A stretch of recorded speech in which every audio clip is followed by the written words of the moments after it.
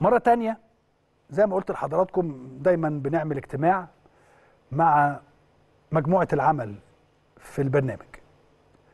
فعملنا هذا الاجتماع النهارده عشان نشوف هنتكلم بناخد رأي بعض كلنا عشان نشوف هنتكلم إزاي مع حضراتكم النهارده على الهواء رأي قال إنه في بعض من جمهور النادي الأهلي شايفين إنه مستر كولر أخطأ في بداية المباراة.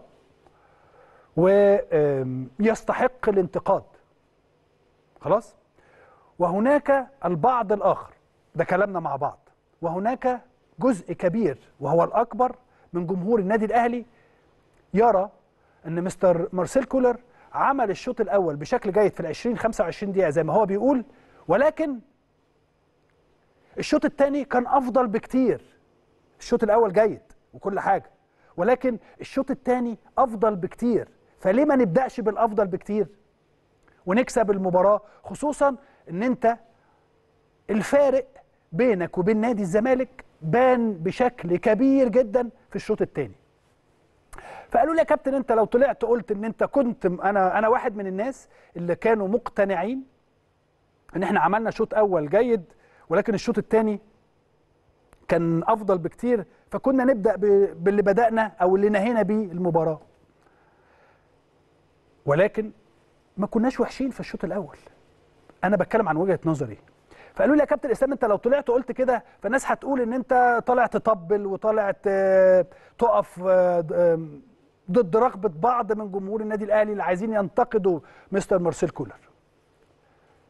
سؤالي لحضراتكم سؤالي لحضراتكم هو في مدرب في الدنيا ما بيخطئش؟ قد يكون عنده وجهة نظر عايز يطبقها لسبب أو لآخر. مارسيل كولر.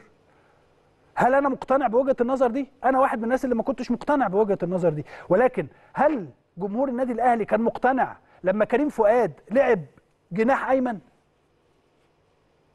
وخلينا نمشي بتسلسل مع بعض. وأنا على فكرة أنا بقول اللي أنا شايفه. اللي أنا إسلام شايفه من وجهة نظري. بعد ما اتكلمت مع زملائي خلينا نمشي بال أول لما سمعنا التشكيل امبارح تشكيل النادي الأهلي كلنا بصينا لبعض. عملنا كده. هو إيه ده؟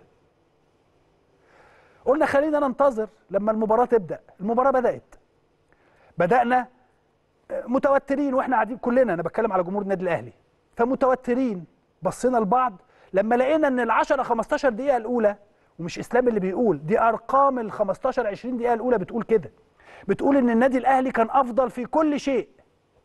فبدأنا نقول الله هو إحنا كنا جايين على الراجل على مستر كولر؟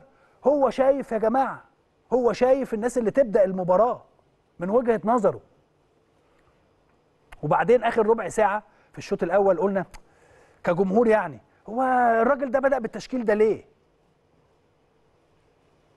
مش المفروض ينزل رضا سليم وعمرو السولية ووسام أبو علي بين الشوطين الراجل مستر كولر عمل كده نزل هذا الثلاثي اللي غير الماتش تماما. فهنا أنا بقول لحضراتكم إن إحنا زعلانين ومتضايقين إن إحنا خسرنا مباراة ما كان يجب إن إحنا نخسرها.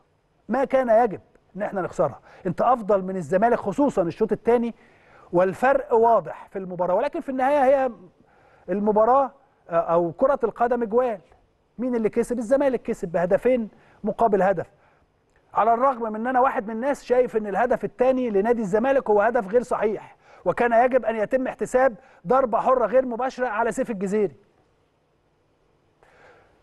فقالوا لي يا كابتن إسلام مجموعة العمل اللي معايا قالوا لي يا كابتن إسلام أنت لو طلعت قلت الكلام ده الناس هتقول لك أنت جاي تطبل. وجاي الكلام اللي بيتقال يعني في ناس بتقول هذا الكلام. ولكن أنا ما بطبلش أنا بقول إن أنا مقتنع بيه. بالمناسبة يعني. أنا بقول اللي أنا شايفه من وجهة نظري. ولما أنا من إمبارح للنهاردة اتكلمت مع عدد كبير جدا جدا جدا من جمهور النادي الأهلي. وكلهم لما بتكلم بنتكلم بالعقل وبنقعد نتناقش بنصل لنتيجة إيه؟ إن إحنا عندنا فريق جيد جدا وعندنا بقية المباريات إن هي دي مباراة بثلاث نقاط خسرناها وبالتالي ثلاث نقاط راحوا مننا يجب أن نعمل أكتر وأكتر الفريق يعمل يشتغل على نفسه أكتر وأكتر المدير الفني يشتغل على فرقته أكتر وأكتر خلال الفترة اللي جاية عشان عندنا مباراة يوم السبت مع مازيمبي رايح في مازيمبي. لسه هنروح نلعب الكونغو هنسافر الأربع ونلعب يوم السبت في الكونغو وبعدين نرجع نلعب المباراة الثانية وبينها مباريات للدوري وبينها مباريات أخرى. اتفقنا إن إحنا هنقول حاجة واحدة. إذا كان هناك أخطاء مليون في المية أكتر واحد عارف إن عنده أخطاء إذا كانت هناك أخطاء هو مارسيل كولر. لأن هو شاف الفرق بين المكسب والخسارة. على الرغم من أنت في النهاية ثلاث نقط راحوا منك في الدوري. في الدوري اللي لسه مشواره طويل ده لسه مشواره لغاية شهر 10 أو لغاية شهر 9 الدوري ده. فقررنا إن إحنا سنساند فريق النادي الأهلي عشان عندنا ماتش يوم السبت. الحلم الأكبر لينا كلنا إن إحنا يوم السبت اللي جاي نقف مع فرقتنا عشان نقدر نعمل نتيجة جيدة مع مازيمبي في واحدة من المباريات الصعبة جدا جدا جدا.